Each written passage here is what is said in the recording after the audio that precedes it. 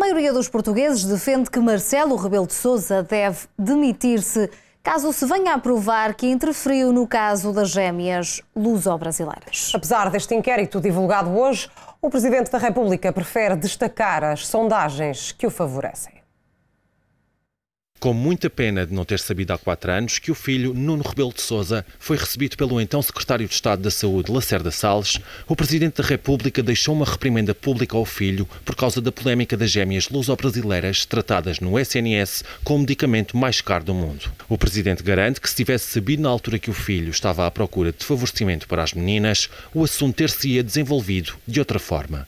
Eu só soube disso agora, eu e os portugueses em geral, não? mas eu em particular e tenho muita pena não ter sabido há quatro anos e tal. Porque era nessa altura que eu devia ter sabido, não nesta altura, não é?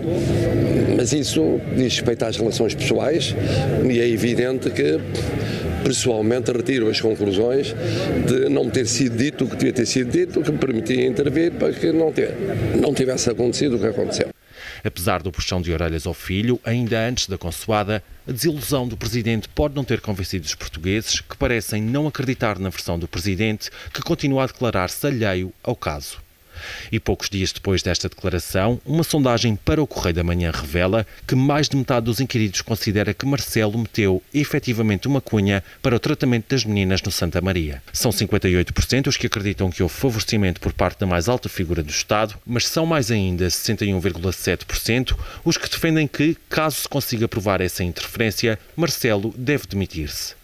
Sem referir nomes, Marcelo desdobra-se em tentar provar que, se tivesse de facto metido uma cunha, o filho não teria tido necessidade de encontrar caminhos alternativos para os seus objetivos. Quem organizou, quem fez quem, uh, esse encontro, essa audiência, essa, essa conversa, fê-lo porque não conseguiu chegar onde queria por outro caminho, que era através do Presidente e da Presidência da República.